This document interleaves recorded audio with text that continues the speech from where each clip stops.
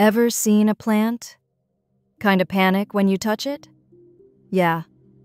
There's one that actually remembers that moment and reacts like it has feelings. It's called Mimosa pudica, the shy plant.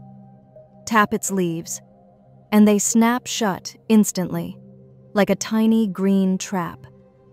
But here's the strange part touch it again a little later, and nothing happens. It just ignores you. Like it learned you're not a threat. Scientists even tested this. They dropped water on it again and again. At first, it flinched hard, leaves folded fast, but after a while, zero reaction. It remembered the splash was harmless. For weeks, no brain, no nerves. Yet it keeps experiences. It just ignores you.